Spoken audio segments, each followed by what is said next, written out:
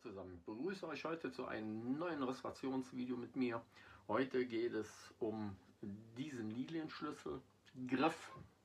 Das ist ja noch kein ganzer Lilienschlüssel, aber dazu kommen wir gleich.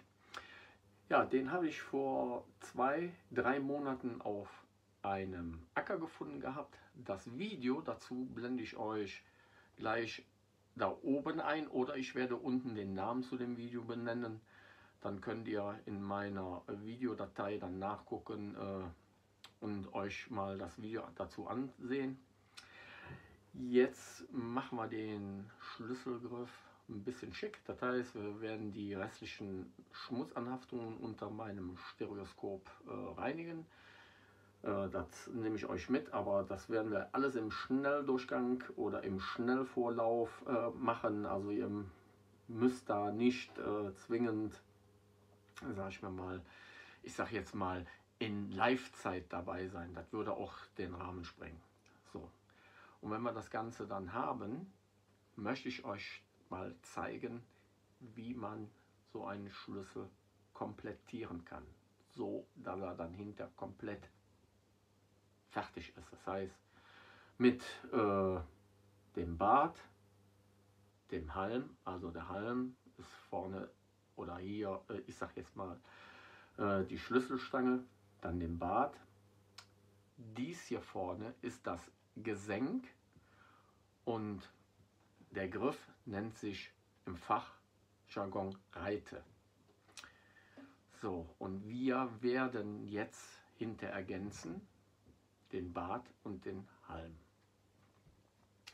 Ich werde euch gleich mal zeigen, was man dazu alles braucht. Aber äh, vorab möchte ich meinen Sponsor, den Jochen Reifenrad von www.abenteuer-schatzsuche.de grüßen. Danke Jochen, dass du mir auch äh, bei den Restaurationsvideos zur Seite stehst. Ja, dann möchte ich all meinen ja, Abonnenten mal ein Dankeschön sagen ich finde es toll, dass ihr immer noch so viel Interesse an meinen Videos habt. Und ja, ich bin eigentlich sehr stolz darauf, dass ihr das immer so regelmäßig anschaut. So, ähm, ja, jetzt fangen wir mal an.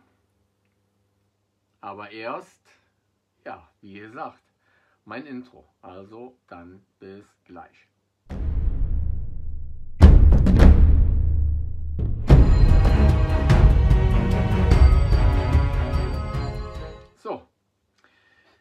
Jetzt können wir anfangen. Also, wir werden als allererstes diesen, oder ich sag mal, diese Reite für alle anderen, diesen Liliengriff, Ornamentgriff reinigen. Das heißt, ich werde das unter dem Stereoskop machen.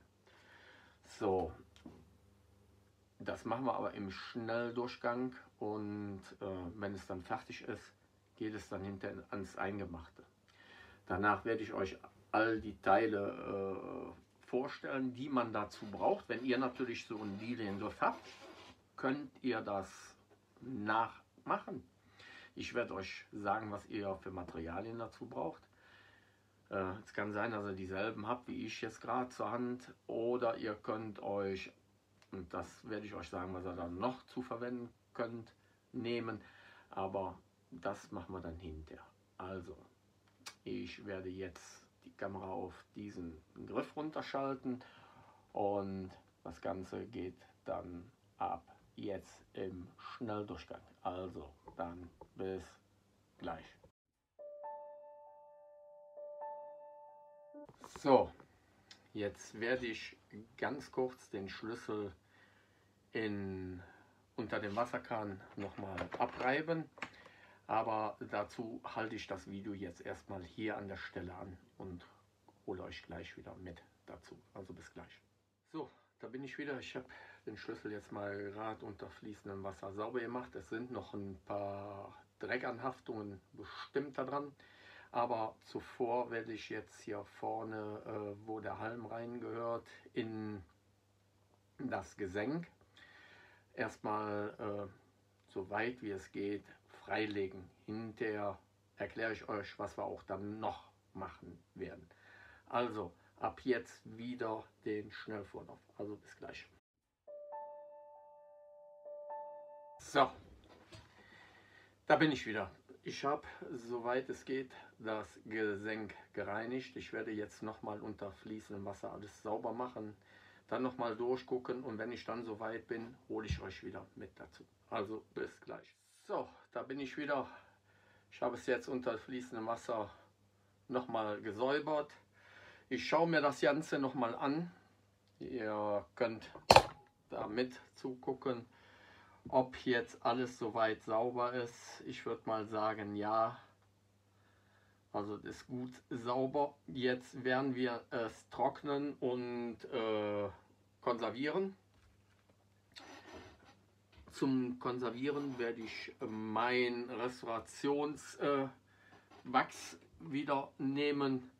Äh, wer es noch nicht kennt, das könnt ihr bei mir bestellen. Ich stelle solche Wachse selber her.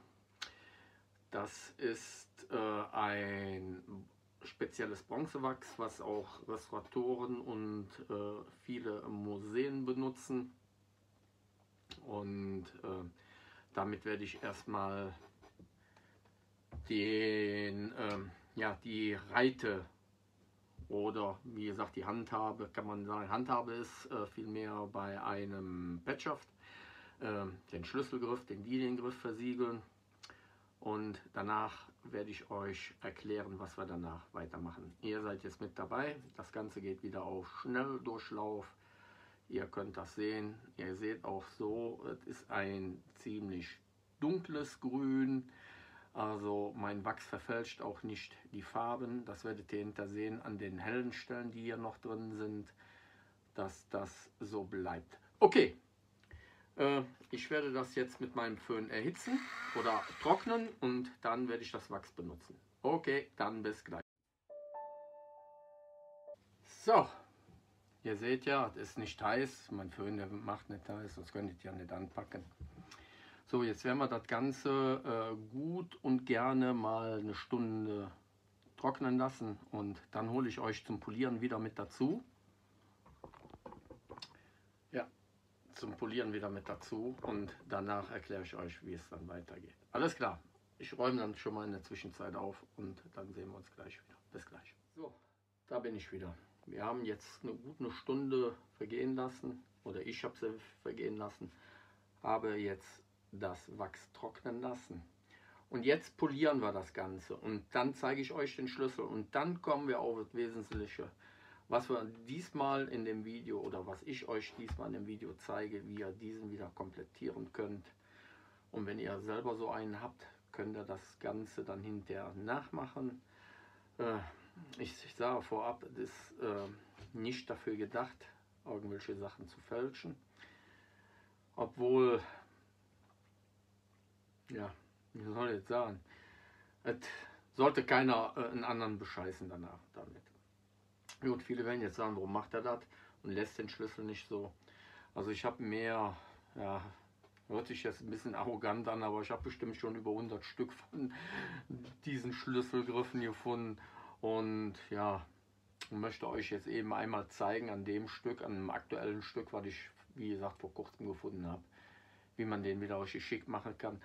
Und vor allem, fällt hinter keinem auf, dass es gemacht worden ist. Wenn ihr euch daran haltet, wie ich es mache.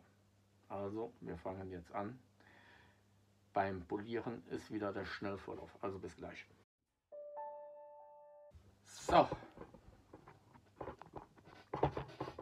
Der Schlüssel ist jetzt, oder die Reite ist jetzt fertig poliert. Jetzt können wir mal gucken, schön das Ganze aussieht. Vielleicht kann man das ja, die Patina ist jetzt spiegelglatt oben drauf und vor allem, ihr habt eben ja gesehen, ja, ich hatte ja schon Bronzefraß an manchen Stellen, das ist leider auf dem Acker so äh, durch den Dünger, aber ansonsten ist das perfekt. Ich habe nur nicht innen drin gemacht, weil da kommen wir gleich zu. Aber sonst von außen ist er eigentlich perfekt hat ein schönes dunkles Moosgrün. Und wie gesagt, die hellen Stellen, die er drin hat, die sind geblieben. Ich hoffe, dass man das gut sehen kann in dem Video. Könnt ihr mir aber glauben. Also, das Wachs verfälscht nicht die Patina. Das ist wirklich schön. Man kann es schön anpacken. Vor allem ist es, ich sag mal, für die Ewigkeit jetzt konserviert. Solange das natürlich nirgendwo hinlegt, wo es heiß ist. Ne? Aber das nennt man dann eine vernünftige Konservierung. So, wir tun das mal jetzt hier wegräumen ganz kurz und dann kommen wir zu dem Wesentlichen. So. Tja. Wie gesagt, das ist keine Anleitung zum Fälschen. Das ist eigentlich nur dafür da, dass ihr mal Sachen restaurieren könnt und für euch ergänzen könnt, dass ihr mal was habt. Ja, mal ein intaktes Stück, weil wie gesagt, zu 90% oder 95% findet ihr nur die oberen Griffe, weil meistens das Eisen, was hier als Halm und Bad ist, äh, wegrottet. Es gibt diese natürlich auch in Vollbronze. Die sind natürlich erhaben. Ich habe natürlich auch äh, welche gehabt mit äh, Bronze, aber die sind heute leider nicht mehr in meinem Besitz. Die haben den Besitzer gewechselt. Und ja, die paar, die ich noch habe, die haben einen Eisenhalm und einen, ein Eisenbad. Ja, ein, äh, eine Restauration dazu oder Bilder. Ich weiß nicht, ob ihr die schon gesehen habt. In der Facebook-Gruppe sind die, glaube ich, äh, noch da. Ansonsten glaube ich auf meiner Homepage unter Restaurationen, da seht ihr diesen Schlüssel, den habe ich komplett äh, mit dem Eisen, äh, wie gesagt mit dem Halm und Bad freigelegt. Nur äh, der ist heute kaputt, weil ich hatte hier eine Schatzsucherzeitschrift, äh, eine Reporterin davon hier gehabt, die hat den Schlüssel ja, äh, fotografieren wollen, hatten hochgehoben, dann natürlich von circa anderthalb Meter auf den Boden fallen lassen. Das war natürlich dann für den Schlüssel gewesen. Ist natürlich kaputt.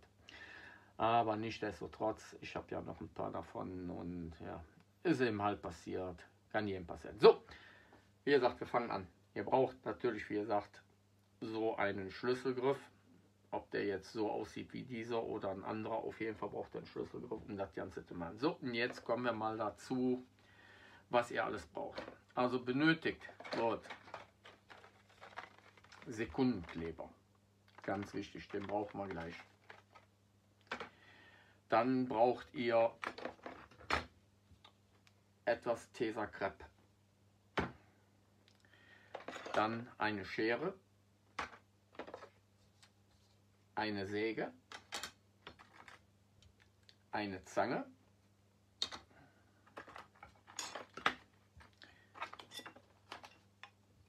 verschiedene Pfeilengrößen, am besten auch eine kleine Schlüsselpfeile als Vierkant. Und ja, wie ihr habt, wie gesagt, Pfeilen. Dann braucht ihr Schmirgelpapier in der Körnung 150. Wenn ihr natürlich habt, so einen Gasbrenner. Dann etwas Lötzinn. Dann einen Bleistiftspitzer und Bleistift, um den Bleistift natürlich anzuspitzen. Das müsst ihr haben auf jeden Fall. Einen rechten Winkel, einen Anschlagswinkel. Dann ein grobes Sieb.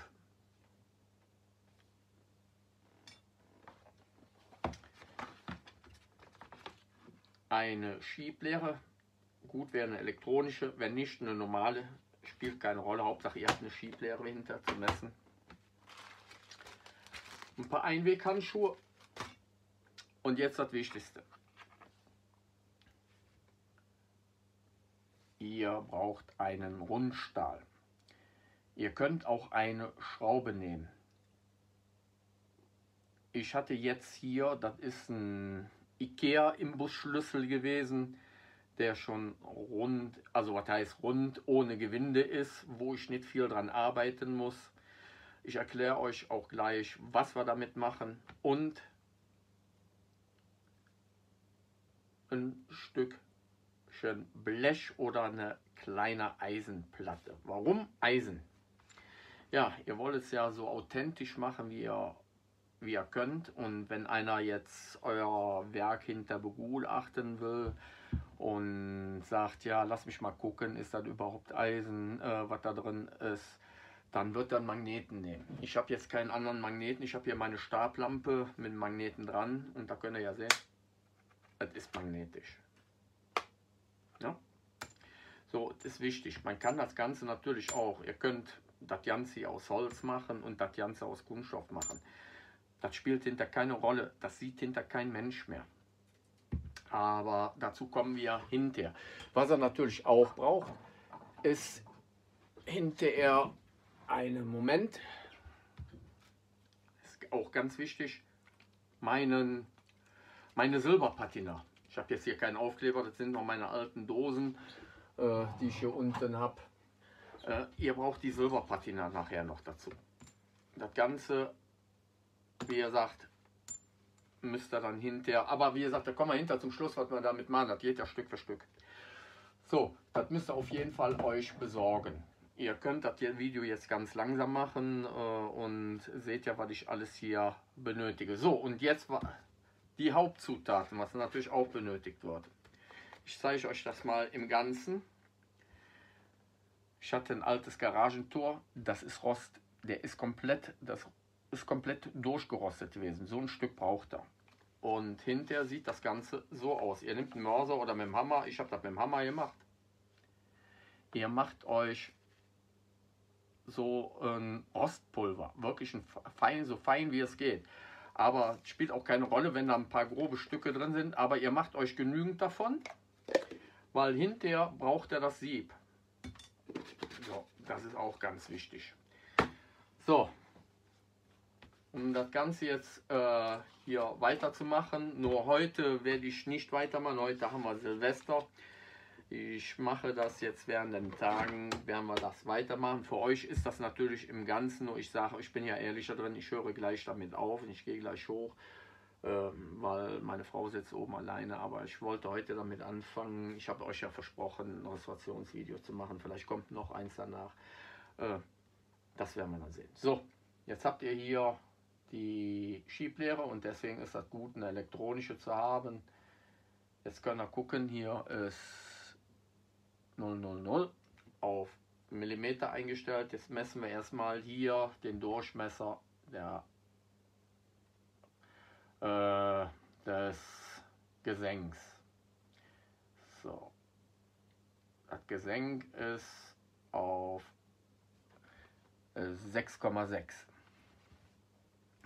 so. Mein Rundstahl, den ich hier habe, ist auf 660. Also das heißt 0,45, nee, 0,54 muss das runtergearbeitet werden. Dazu kann man jetzt das Schleifpapier nehmen. Hier habe ich meine Standbohrmaschine. Ihr könnt aber auch eine normale Bohrmaschine nehmen.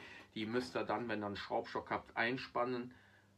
Dann kommt das rein. Oder ihr nehmt die Schraube. Wenn ihr die Schraube nimmt, dann nimmt ihr eine schöne Schrubpfeile.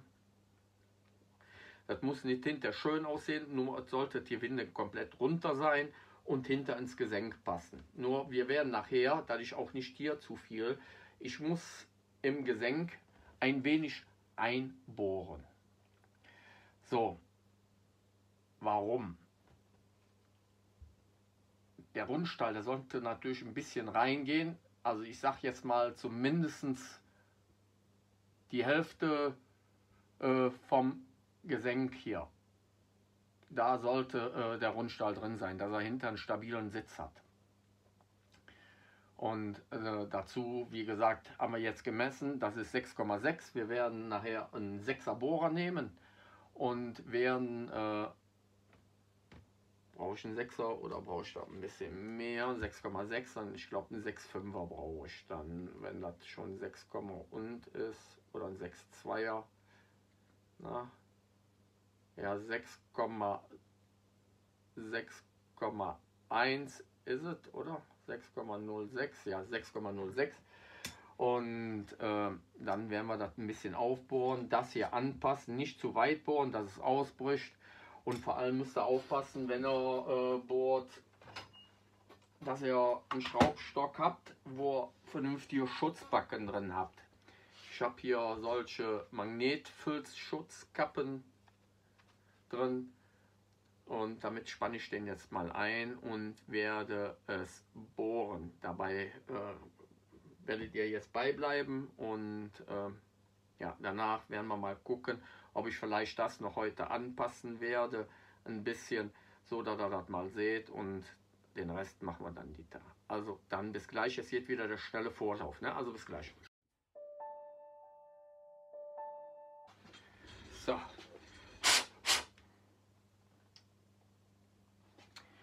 Ich habe es jetzt etwas aufgebohrt Jetzt ist das eine äh, gerade Bohrung.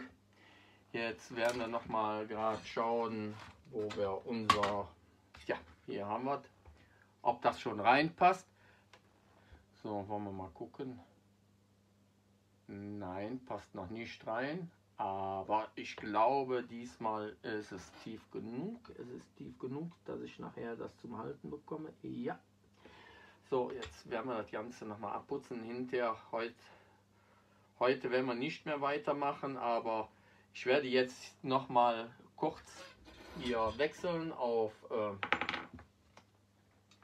Datei und dann werden wir das ein bisschen anpassen. Nur ein bisschen, um zu gucken, ob ich das schon reinkriege gleich.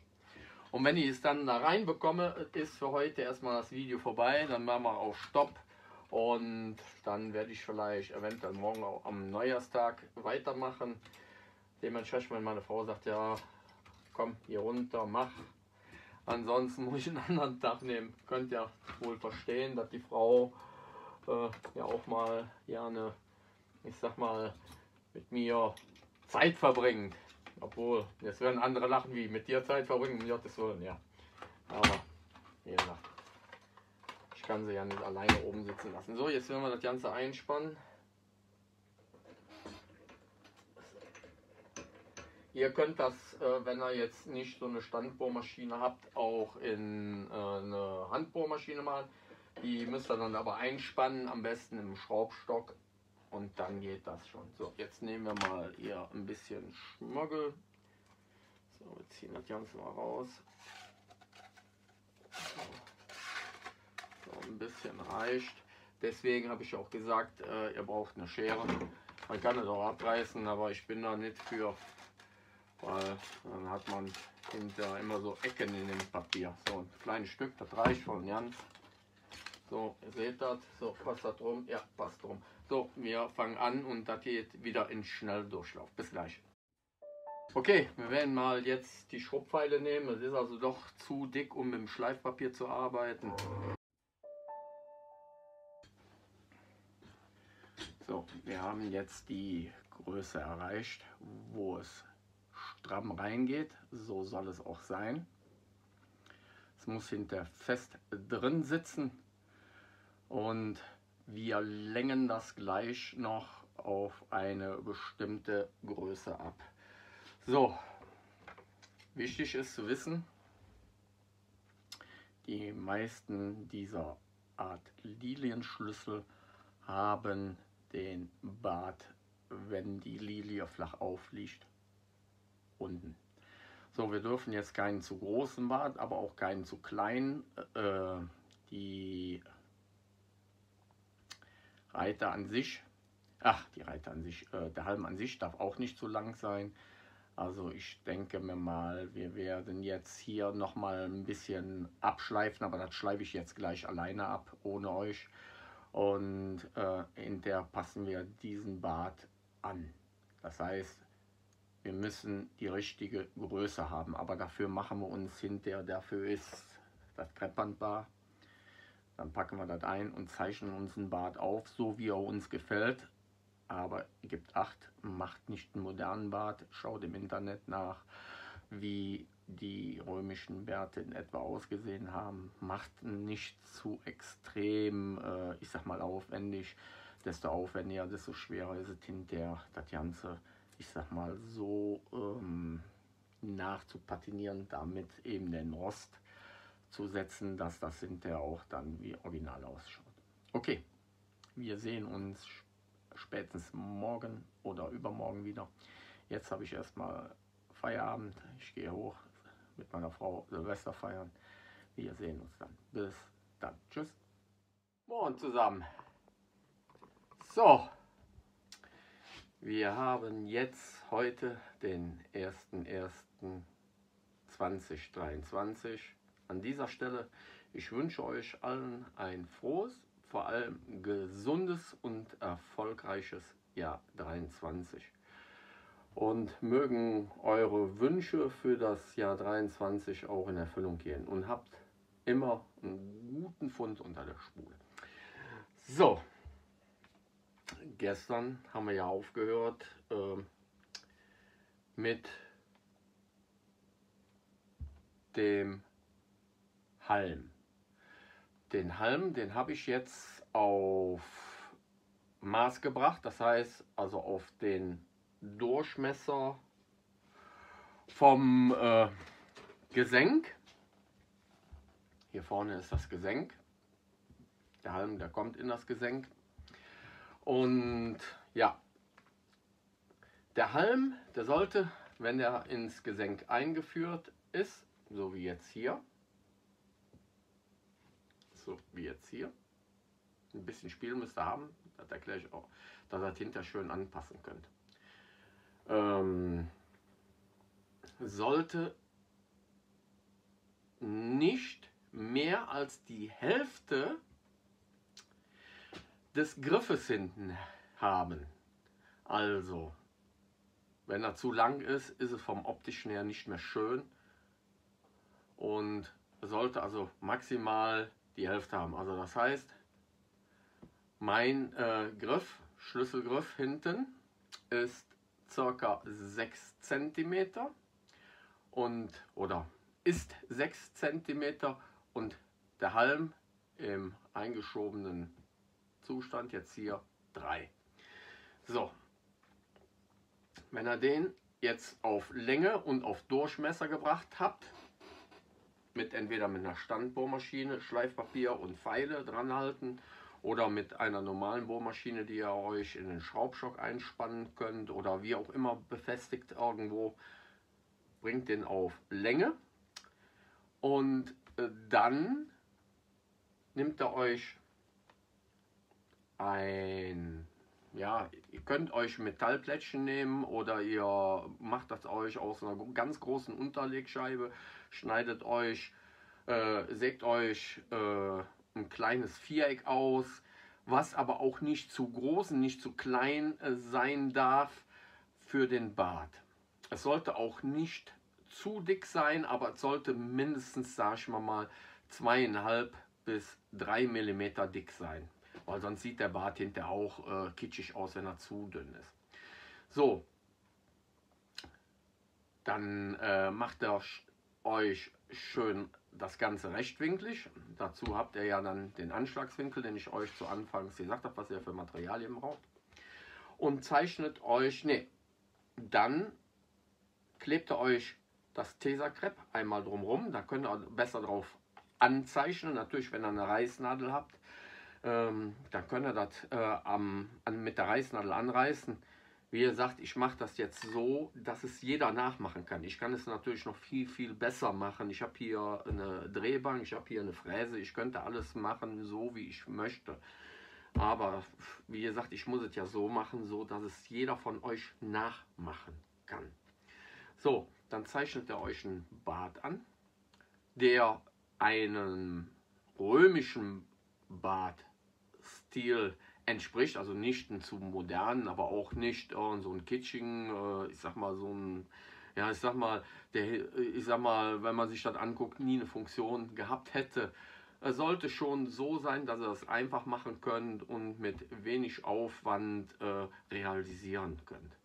So, und dann, wenn ihr wisst, wie der Bart aussieht oder wie ihr ihn haben wollt, geht ihr hinterher wieder an den Halm weil der Halm rund ist, dann müsst ihr da, wo der Bart angesetzt wird, mit einer kleinen Pfeile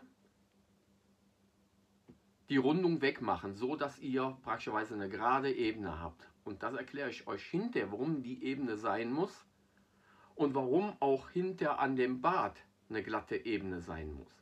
So, aber wir fangen jetzt erstmal an, um den Bart uns auszusägen. So, ich habe schon ein wenig vorgearbeitet. Hier ist mein Bart. Da, wo die hellen Flächen sind, das sind die Aussparungen. Und wie gesagt, ich fange jetzt an. Ich habe hier mir meinen Schraubstock eingespannt, weil ich habe hier keinen festen Schraubstock an meinem Tisch, weil mein Arbeitsplatz ist ziemlich klein hier. Den muss ich immer wieder versetzen. So, und wenn ich das mache, seid ihr wieder mit dabei, aber das Ganze wieder auf schnell, äh, also auf Schnelllauf. Ne? Alles klar, dann bis gleich und schaut zu.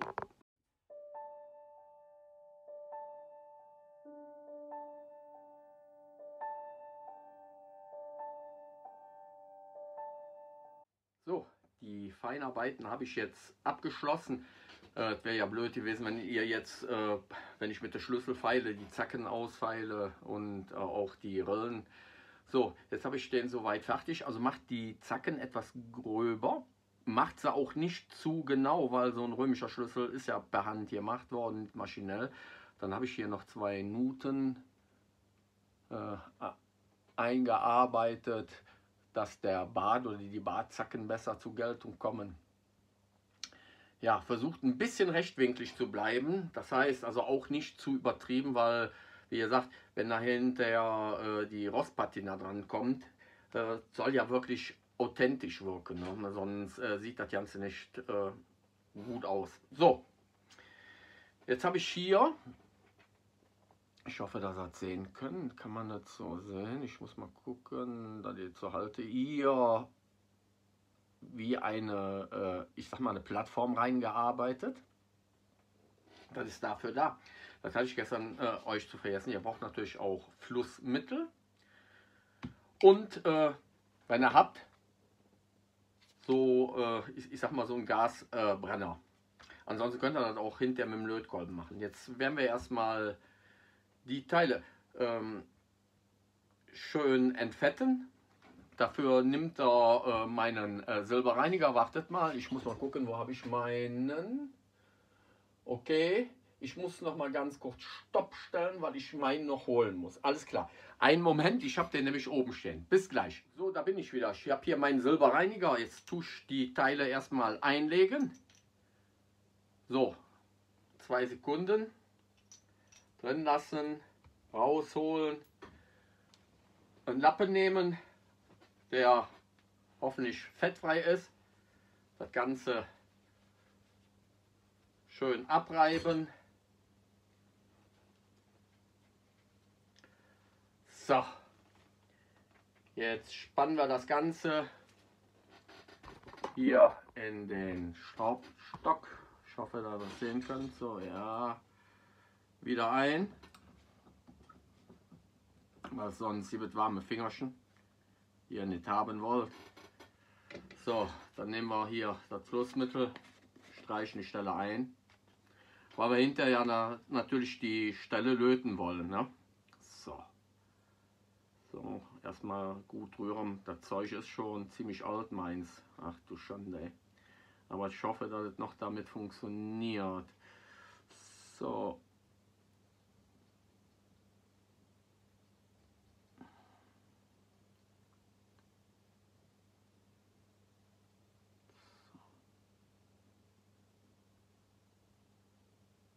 So, gut einstreichen und jetzt einbrennen.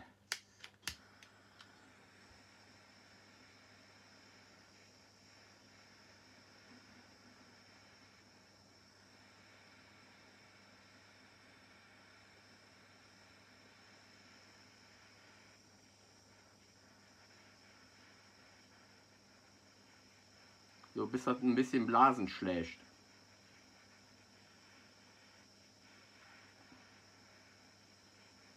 Ich habe schon kein Gas mehr drin. Das ist schon ziemlich gering, die Flamme. Aber es sollte reichen.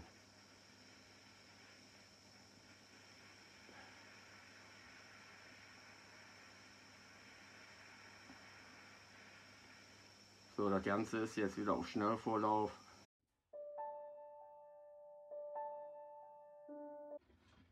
So, jetzt vereinen wir den Schlüsselbad mit dem Halm.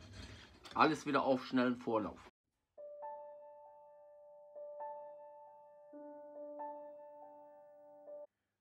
So, ich bin damit fertig. Ich habe jetzt allen Überschuss an Zinn weggeschliffen. Das ist auch sehr wichtig jetzt bei dem nächsten Vorgang. Viele werden jetzt sagen, die von euch Schlosser sind oder überhaupt schon mal sowas gemacht haben. Okay, wir müssen jetzt das Metall erstmal schwärzen. So, schwärzen kann man es äh, mit äh, Kaltbrunierung, aber die wird keiner zu Hause haben. Ja, ob jetzt auch jeder mein äh, Silberreiniger zu Hause hat äh, und auch, ich sag mal, überhaupt mein Restaurationsset zu Hause hat, weiß ich nicht.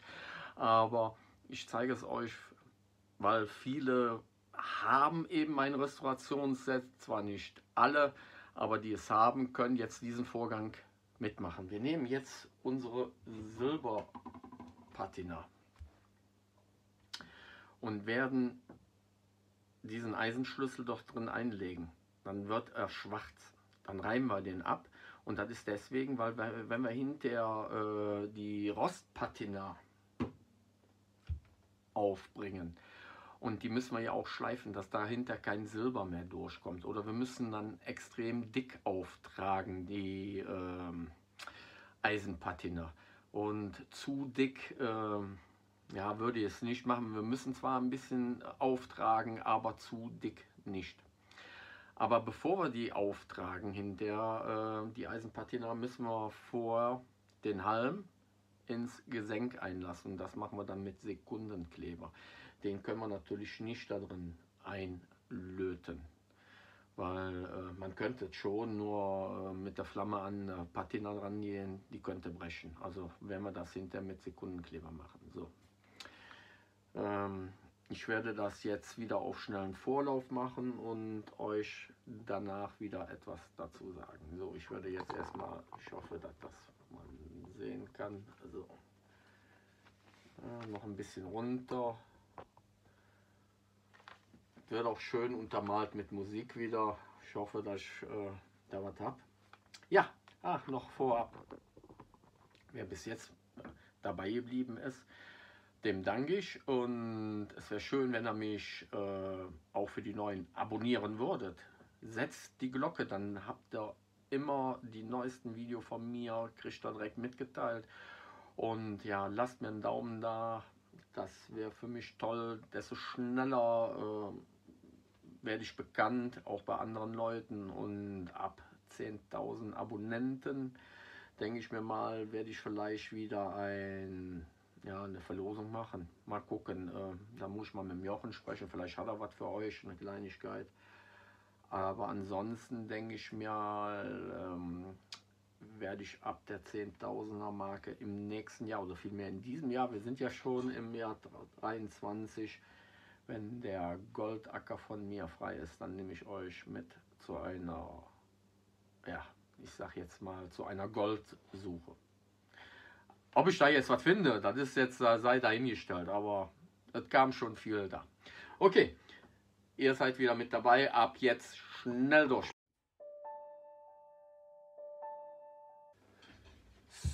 So, da bin ich wieder.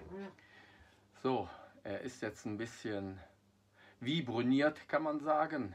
Er ist jetzt dunkler gemacht, das helle ist weg. So könnt ihr auch eure Eisenteile machen. Also die Silberpatina funktioniert auch auf Eisen, ihr seht es ja jetzt gerade. So, jetzt gucken wir uns mal das mit dem Schlüssel an, ob ich das auch gut gemacht habe. Ich denke schon. Und jetzt müssen wir den natürlich so verkleben. So, ich nehme euch wieder mit runter. Und das ganze Verkleben ist auch wieder im Schnelldurchlauf. Bis gleich.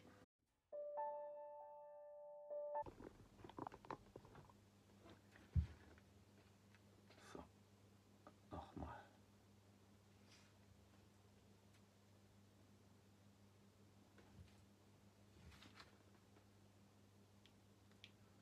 So, und jetzt tun wir ihn ganz dünn mit, mit der Eisenpatina patinieren. So, legen das Ganze mal rüber. Jetzt braucht er die Handschuhe, aber sonst gibt es schmutzige Finger. So, ein Stück Papier, wo ihr das dann da drüber machen könnt. So, die Eisenpatina. Dann braucht ihr das Siebchen. Wo wir sind jetzt dann? Shell, siehst du mich? Ich sehe dich nämlich nicht. Habe jetzt irgendwo hingelegt, wo ich es nicht wiederfinde. Oh ja, was bin ich dann wieder? Okay, ich muss glaube ich mal... Ah ne, hier ist es. Ich dachte, ich hätte es schon weggeräumt. So, haben wir Wir füllen das schon mal ein.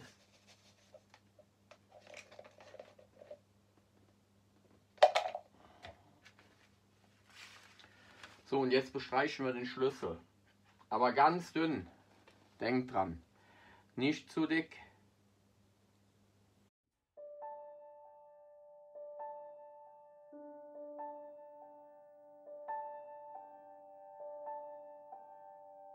So, es ist soweit vollbracht. Ihr könnt das sehen. So sieht das Ganze dann aus. Also es ist richtig schön dick, so wie es auch sein sollte. Dass man das auch Ganze abkauft. Hier nochmal der Beweis. Wenn es mal einer von euren Freunden überprüfen will, könnt ihr die ja foppen. Also das ist magnetisch. Wie gesagt, ihr könnt das natürlich aus Holz, Kunststoff, wie auch 3D-Drucker, könnt ihr alles nach, aber wenn ihr wirklich so authentisch nacharbeiten wollt, wie es auch wirklich ist, ist es so die beste Möglichkeit. Jetzt kommt noch der letzte Schritt. Ich mache es ein bisschen warm. Nehme meinen Restaurationswachs und ja, pinsel das Ganze ein. Danach wird es abpoliert. Erstmal ja, circa eine Stunde trocknen lassen. Und dann hole ich euch wieder mit dazu. Das Ganze ist jetzt erstmal im Schnelldurchgang mit dem Wachs. Das trocknen lassen. Äh, das äh, sparen wir aus. Dann mache ich das wieder aus und dann hole ich euch beim Polieren dazu und dann kommt die Abmoderation. Also bis gleich. So, das Ganze lassen wir jetzt eine Stunde trocknen und dann hole ich euch zum Polieren wieder mit dazu und danach wird die Abmoderation gemacht. Also bis gleich. So, da bin ich wieder. Der Schlüssel ist getrocknet. Jetzt macht ein Fehler nicht. Nimmt eine Bohrmaschine oder ich sag mal ein Dremel mit einem äh, Polieraufsatz drauf. Sonst, äh, wenn er damit drüber geht, dann glänzt das zu sehr. Und das soll ja nicht zu sehr glänzen. Das soll ja so aussehen, als wenn ihr den Schlüssel gefunden habt, das ganze Teil rausgearbeitet habt, dann hinter versiegelt habt und fertig. Nimmt so eine so eine äh, Zahnbürste, geht mal leicht drüber so. Der Wachs ist ja auch eingezogen in dem Ganzen, richtig gut, das reicht schon. So, können wir mal gucken. Ach, so. Also, er ist richtig gut gemacht, also so könnt ihr das euren Freund verkaufen als kompletten Schlüssel. Also verkaufen heißt nicht verkaufen im Sinne, ihr veräußert das. Das heißt, ihr könnt äh, im April verarschen oder wer auch schon vorher, wie auch immer, wie ihr wollt. Ja, ich habe euch ja zu Anfangs gesagt, was ihr alle dazu braucht. Ihr habt ja das Video gesehen. Und ja, wenn ihr es nachmachen wollt, jetzt wisst ihr, wie es geht. Man kann es natürlich auch noch in Bronze machen, also mit Bronze. Man kann es auch noch viel schöner machen, aber ich habe es jetzt auf dem einfachsten Wege für euch gemacht, dass es fast jeder, jeder, der eine Bohrmaschine hat und ja ein bisschen handwerkliches Geschick, das nachmachen kann.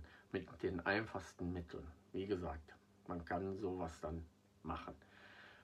Okay, es werden natürlich auch welche drunter geben, ja, wie kann man sowas machen? Ja gut, das muss jeder selber wissen, letztendlich, was er mit seinem Fund macht. Ob er das macht oder nicht macht, man kann ihn auch so belassen, wie er ist. Ich habe auch äh, solche äh, Lilienköpfe einzelne Vitrine liegen, aber auch, ich sage jetzt mal, als kompletten Schlüssel. Und das macht dann natürlich von der Optik her natürlich viel mehr, als wenn er nur so äh, die Handhabe da liegen hat. Ja, ich bedanke mich erstmal bei euch allen, dass ihr bis jetzt äh, zugeschaut habt. Wer mich noch nicht abonniert hat, ab abonniert mich, das kostet euch nichts. Äh, liked das Video, liked die anderen Videos, schaut euch auch alle meine anderen Videos an. Äh, erzählt es euren Freunden, teilt es in Gruppen, was weiß ich wo, überall. Desto mehr äh, Abonnenten ich habe, desto besser ist es letztendlich für mich. Äh, und ja, ich komme ein bisschen weiter damit. Ja, dann möchte ich mich nochmal zum Schluss bei meinem Sponsor, beim Jochen Reifenrad von www.abenteuer-schatzsuche.de bedanken, dass der Jochen immer tatkräftig an meiner Seite ist. Ja, an alle da draußen. Ich hoffe, wie gesagt, es hat euch gefallen. Und mal schauen, vielleicht machen wir in dieser Richtung weiter mit anderen Videos oder dann kommen wieder Reinigungsvideos. Mal gucken, so wie ich Zeit habe. Ihr seht ja selber, das ist äh, aufwendig, das muss immer gestoppt werden, man muss unterbrechen. Wie gesagt, das ist auch nicht von jetzt auf gleich. Das habe ich jetzt wirklich für euch äh, auf die Schnelle gemacht. Habe mit meiner Frau gesprochen. Die ist jetzt schon wieder am Toben da oben, weil ich wieder im Keller bin, statt bei ihr. Ja, am Neujahrstag. Aber wie gesagt, ist eben halt so, wenn man, wenn so was mal machen möchte. Ja. Okay. Genug der Worte. Habt eine gute Zeit. Findet richtig tolle Sachen, das wünsche ich euch. Ja, restauriert schön. Wie gesagt, ihr kennt ja meine Produkte. Das Reinigungsset, was ich habe in dem Sinne, das Reinigungsset, Restaurationsset vielmehr. Das ist das Restaurationswachs, die Silberpatina und ähm, äh, der Silberreiniger und ihr seht ja, die Silberpatina kann man für mehrere Materialien einsetzen, für Eisen, für Aluminium und für alles, aber hauptsächlich für Silber. Man kann alles gut damit nachpatinieren oder ich sag mal ein bisschen angleichen. Patinieren kann man ja so nicht sagen. So, das Wachs ist top für Bronze, also tippt wirklich, also ich, ich belobe mich ja nicht gerne selber, aber es gibt nichts Besseres, was man da auf dem Markt findet. Also das ist hochwertig, das benutzt auch das Museum und auch viele, viele Restauratoren in Deutschland und in Europa das Wachs. Also wirklich die Rezeptur dazu hat äh, eine Firma und die stellen das her in größeren Gebinden und verkauft das natürlich an das Museum. Ich habe kleinere Gebinde und stelle dann das natürlich auf eine andere Art her, als wie die das machen jetzt, dass ihr es einfacher habt zum Verarbeiten mit Lösungsmitteln natürlich. Ja, die Silberpatina äh, ist auch äh, eine eigene Rezeptur, genauso wie mein Silberreiniger. Und ich kann wirklich sagen, ich kenne vieles und also nichts Besseres, was funktioniert, als das, was ich euch anbieten kann. Ja, dann habe ich noch im Angebot ähm, ein Eisenwachs, mikrokristallines Eisenwachs und ähm, da ist der Tropfpunkt bei 90 Grad, um die 90 Grad und das äh, bildet eine Härte aus, äh, was seinesgleichen sucht. Also es wird kein hartes Wachs auf dem Markt geben, was ihr bekommen könnt, außer das, was ihr bei mir bekommen könnt. Ja, genug der Worte, genug Werbung für mich im eigenen Sinne gemacht. Ja. So, dann Habt eine gute Zeit. Wir sehen uns beim nächsten Video wieder. Bis dann, euer Markus. Ciao.